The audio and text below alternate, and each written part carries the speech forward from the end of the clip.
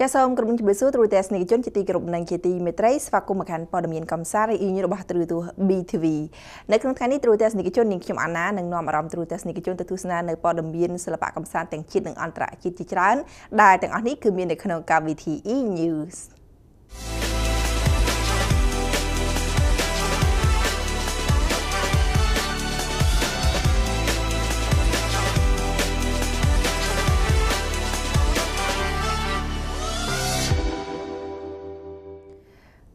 ផ្ដើមនៅព័ត៌មានសិល្បៈកំសាន្តជាតិដំបូងនេះប្រិមត្តទូទេសនិកជនយើងទៅទស្សនាជាមួយនឹងបទសម្ភាសរវាងនាងខ្ញុំអាណារួមជាមួយនឹងលោកលឹមជាឡាយនិងលោកអូនសុធាទាំងពីរនាក់ដែលជាសិល្បៈអឺក អាចនិយាយបានថាជាសិល្បករពីររូបគឺពិតជាមានស្នាដៃនៅក្នុងការសម្ដែងនៅក្នុងខ្សែភាពយន្តភាគក៏ដូចជាខ្សែភាពយន្តដុំល្បីល្បីនៅក្នុងប្រទេសកម្ពុជាហើយក៏ដូចជា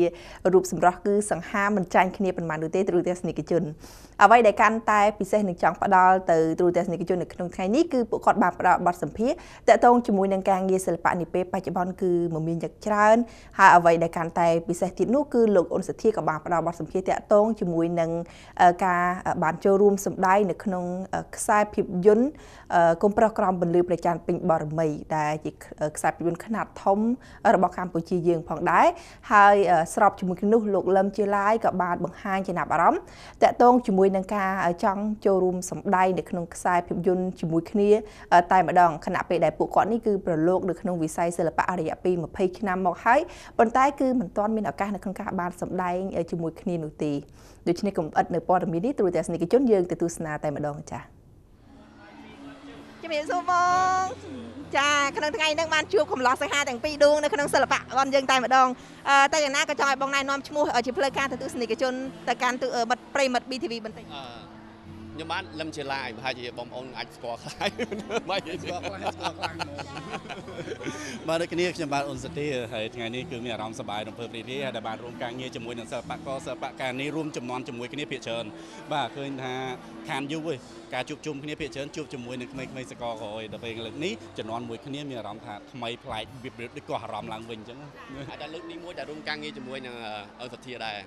បាទ អាចប្រាប់ពីវ័យបានបងបន្តិចណាទៅដល់ទស្សនិកជនណាព្រោះថាជាវ័យឬប្រាប់ពីអាយុអាយុបើប្រាប់ពីវ័យវ័យខ្ញុំទុំ20ជាងហើយបើប្រាប់វ័យខ្ញុំទុំ10ជាងបាទបាទអាយុអត់ទេអូខេចង់ចង់ដឹងពីអាយុអូនបងដូចគ្នានៅក្នុងការចូលសិល្បៈនេះបងចូលបានប្រហែលឆ្នាំហើយរហូតមកដល់ពេលនេះណា បាទខ្ញុំចូលសិល្បៈចូលចិត្ត20ឆ្នាំហើយហើយអាយុរបស់ខ្ញុំវាចូលចិត្តដល់40ហើយវា30ក្រាស់ដែរបាទបាទព្រោះថាអាជីពយើងស្រឡាញ់យើងចូលចិត្តហើយជាអ្នកស្រឡាញ់ចូលចិត្តចឹងយើងត្រូវតែថែរក្សាតិចដងខ្លួនសម្រាប់សុខភាពក៏ដូចជារូបសម្បត្តិបើយើងមិនថែរក្សាទេចាស់ទៅគឺយើងអាចនឹងមិនត្រឹមដើរតួឪតួតាផងមិនដឹងអញ្ចឹងយើងត្រូវតែព្យាយាមបាទតួតាបាទអញ្ចឹងខ្ញុំមួយអូនវិធីគឺស្តៀងគ្នាដែលគាត់ឆ្លើយមិនមិញគឺចូលវិសិលបៈប្រហែលជា7 20ឆ្នាំដូចគ្នាបាទ ខែថាពីវ័យអាយុវិញបាច់ប្រាប់ទេរៀងចាស់ហើយរៀងយិនសិនហើយ25 25អត់តែ30ក្រាស់ដូចគ្នាបាទចាប៉ុន្តែយ៉ាងណាឃើញថាសម្រាប់បច្ចុប្បន្ននេះឃើញមានសន្ទុះនៃការគ្រប់គ្រងទៅលើការថតខ្សែភាពយន្តមិនបងមានច្រើនប៉ុន្តែក្នុងហ្នឹងក៏ចង់ឲ្យបងជួយប្រាប់ពីសាច់រឿងបច្ចុប្បន្នដែលការងារសិល្បៈរបស់បច្ចុប្បន្ននេះ មមាញឹកជាមួយនឹងការថតរឿងឬក៏ថតស្ពតពាណិជ្ជកម្មអីខ្លះដែរឬអត់បច្ចុប្បន្នជាពិសេសក្នុងបរិបទកូវីដនេះបាទបាទបន្ទាប់ពីបញ្ចប់ជាមួយមិនមែនបញ្ចប់ទេគឺគ្រាន់ថាយើងរៀងស្រាលបន្តិចសម្រាប់កូវីដអញ្ចឹងយើងក៏ចាប់ផ្ដើមឆ្ពោះទៅមុខដែរសម្រាប់អាជីពក៏ដូចជាមុខរបរក្នុងវិស័យសិល្បៈខ្ញុំឥឡូវនេះគឺទទួលបានដល់ទៅ2រឿងហើយមកមួយទៀតគឺជាចម្រៀងភាពយន្តលក្ខណៈដូចចម្រៀងកាយវិការតែយើងវាទៅជាសាច់រឿងដែរអញ្ចឹងវាចំណាយពេលទៅដល់កន្លះម៉ោងចិត្ត1ម៉ោងសម្រាប់រឿងនឹងចម្រៀងនឹងហើយសម្រាប់រឿងមួយទៀតគឺរឿងសម្រាប់ចាំងនៅប៉ុស្តិ៍ទូទុំមួយដែលជារឿងភាគនឹងត្រៀមនឹងចាប់ផ្ដើមថតបាទគឺរឿងទីលាន3ជ្រុងបាទពេលនោះគឺច្បាស់ជាដកអារម្មណ៍ទស្សនិកជនបន្ថែមទៀតដោយសារតែខ្ញុំតួអង្គផ្សេងមួយទៀតគឺជាតួអង្គអ្នកបដាលវិញម្ដងបាទគឺថ្មីថ្មីសម្រាប់ខ្ញុំហើយសង្ឃឹមនឹងជឿជាក់ថាទស្សនិកជននឹងគ្រប់គ្រងជាមួយនឹងអ្វីដែលវាថ្មីសម្រាប់ខ្ញុំហើយកុំប្រកាន់បខុសឆ្គងត្រង់ណាឲ្យជួយប្រាប់វិញបាទបាទហើយមួយទៀតនោះគឺរាល់ថ្ងៃនេះគឺកំពុងតែថតជាមួយនឹងខ្សែភាពយន្តខ្នាតធំភាគបាទដែលជា រឿងរបស់សម្ដេចនាយករដ្ឋមន្ត្រីរបស់យើងហ្នឹងគឺបាទគឺខ្ញុំកំពុងតែត្រៀមថតអឺរឿងហ្នឹងកំពុងតែចេញថតបាន4 5ថ្ងៃហើយគឺរឿងកងប្រុសក្រោមពលឺប្រច័នពេញបរមីបាទបាទជាក្នុងសាច់រឿងនេះគឺខ្ញុំជាតួអង្គធីដែលជាចំណិតរបស់អឺតួសម្ដេចតែម្ដងបាទអញ្ចឹងឃើញថាមានឈុតឆាកចេញជាច្រើនទៀត បាទហើយក្នុងរឿងនេះដែរគឺសម្រាប់សម្រាប់មែនទែនរហូតដល់តែមានការបាញ់បោះរហូតដល់គ្រាប់ផ្ទុះគ្រាប់បែកដូចជាបាញ់បេអីគឺមានគ្រប់សពទាំងអស់អញ្ចឹងពួកខ្ញុំក៏ត្រូវតែរៀនវឹកហាត់ទាំងអស់គ្នាដែរព្រោះថាយើងមិនអាចទៅត្រឡប់ទៅថតកន្លងមកមនោសញ្ចេតនាមិនបាច់រៀនច្រើនទេគ្រាន់តែប្រាប់តួប្រុសតួស្រីមកមនោចេតនាគឺទៅឯងតែនេះអត់ទេព្រោះថាការបាញ់បោះវាត្រូវការយុទ្ធសាស្ត្រក្នុងការដែលយើងចេះបាញ់យើងត្រូវតែ និយាយទៅយុទ្ធសាស្ត្រដូចទៅរៀនមិនគឺយើងត្រូវតែចេះអញ្ចឹងពួកខ្ញុំត្រូវចំណាយពេលទៅហាត់រៀនហើយក៏ត្រូវប៉ាសមត្ថភាពបន្ថែមទៀតដើម្បីបញ្ចូលជាមួយនឹងសាច់រឿងទាំងអស់ហ្នឹងឲ្យបានល្អអឺភាគច្រើនគឺការថតរឿងហើយខ្ញុំទៅមកបញ្ចប់រឿងអហងមាសចាក់ថ្មីថ្មីនេះបងដែរហើយនឹងខ្សែភាពយន្តពីររឿងពីខ្សែទៅរឿងខ្លីៗហ្នឹងប្រហែលជាអញរឿងក្រោយនេះអឺប្រហែលពិសោធន៍តែជាងតែ5ថ្ងៃ6ថ្ងៃទៀតចប់ហើយរឿងរឿងហ្នឹងហ្នឹងដូចជាអត់មានទេបាទ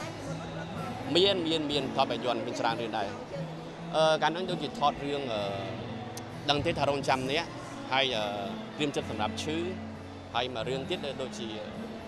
ចាំភ្លេចទេចង់ភ្លេចបើសម្រាប់ខ្ញុំអឺគិតទៅគឺអារបៀបញាស់តួស្រីចូលចិត្តធ្វើបាបតួស្រីប៉ុន្តែព្រោះថាតែរឿងនេះមានអារម្មណ៍ថាពេលខ្លះទៅលេងទៅវាវាវាធ្វើឲ្យ direct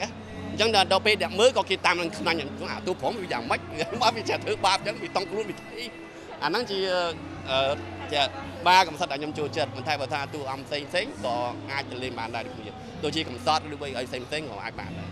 ក៏ប៉ុន្តែខ្ញុំក៏មានបំណងចង់ថាបើសិនជាមានឱកាសមានរោងការងារជាមួយសទ្ធាព្រោះអត់ដែលមានមួយគ្នាសោះ អត់ដែលបានប៉ះគ្នាតែម្ដងនិយាយទៅអត់ដែលជួបសោះហើយដល់ពេលថ្ងៃនេះគឺ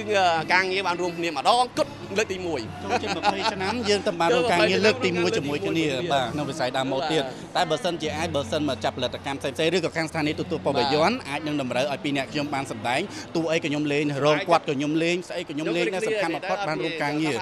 ព្រោះថាវិស័យសិល្បៈយើងត្រូវតែលុបឲ្យកប់ហើយយើងដឹងឲ្យគ្រប់ជ្រុងជ្រោយទាំងអស់នៃសមត្ថភាពសម្ដែងមិនថាឈួតឡប់ឬក៏ តួខ្ទើយតួអីគឺយើងត្រូវតែត្រូវតែលុបឲ្យកប់អញ្ចឹងបានថាបាទគ្រប់ទម្រង់ទាំងអស់ព្រោះថាខ្ញុំនឹងរាល់ថ្ងៃនេះមិនមែនថាខ្ញុំចូលពួកយើងចូលចិត្ត20ឆ្នាំនេះគឺចេះអស់ទេគឺនៅអារម្មណ៍ខ្លះទៀតគឺយើងអត់បានជួបដូចជាឈួតអញ្ចឹងគឺសិតតែពួកយើងអត់ដែលធ្លាប់ឈួតទេនៅខាងក្រៅដល់ពេលយើងទៅទៅសម្ដែងឈួតគឺពិបាក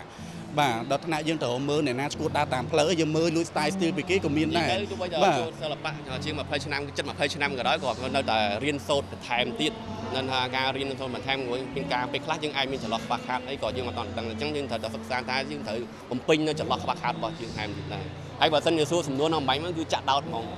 ព្រោះខ្ញុំចង់និយាយដែរអំបញ្ញហ្នឹងគឺថាបើមានឱកាសរោងការងារជាមួយគ្នានឹងសប្បាយចិត្តមែនព្រោះដែរសោះ ព្រោះអីគ្នាបានរួមការងារជាមួយនឹងគ្នាព្រោះថាពួកយើងចូលកាច់កងគ្នាទៀតហើយសប្បាយលេងហ្មងគ្នាថាមកឆ្ងាញ់ហើយហ្មងដល់តែពេលតែចេញទៅដល់ប្លែកហ្មងបាទ